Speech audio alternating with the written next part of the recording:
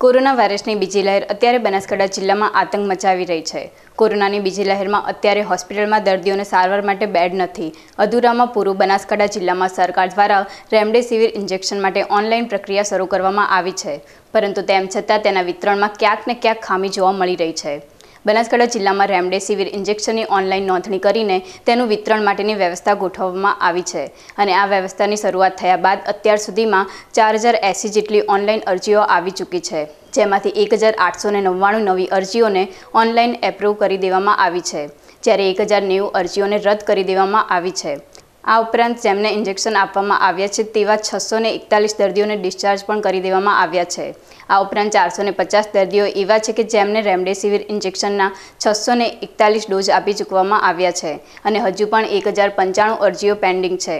અમે આ અંગે તપાસ કરી ત્યારે જાણવા મળ્યું કે અત્યારે લોકોમાં એક ભય ફેલાઈ ગયો હોવાના લીધે જેવા હોસ્પિટલમાં દાખલ થાય છે તેવા જ રેમડેસિવિર ઇન્જેક્શન માટે ઓનલાઈન અરજી કરી નાખે છે અને તેના લીધે ઓનલાઈન અરજીનો ભરાવો થઈ ચૂક્યો છે. ઘણા કિસ્સામાં જેનો સિટી સ્કોર ઓછો હોય છે, તેવા દર્દીઓના નામની પણ ઓનલાઈન અરજીઓ કરવામાં આવી રહી છે અને તેના લીધે અત્યારે ઇન્જેક્શનની ઘટ સર્જાઈ રહી છે.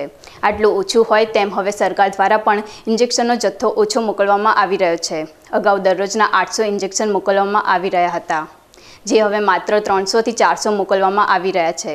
જિલ્લામાં ઇન્જેક્શનની એપ્રુવલ જ્યાંથી આપવામાં આવે છે ત્યાંના ફરજ પરના અધિકારી ચેતન પટેલ સાથે થયેલી ટેલિફોનિક વાત મુજબ ઇમરજન્સી કેસમાં ચોથી મે સુધી આવેલી ઓનલાઈન અરજીઓને એપ્રુવલ આપી દેવામાં આવી છે. જ્યારે સામાન્ય અરજીઓની વાત કરીએ તો બીજી મે સુધી આપવામાં આવેલી અરજીઓને એપ્રુવ કરી દેવામાં આવી છે.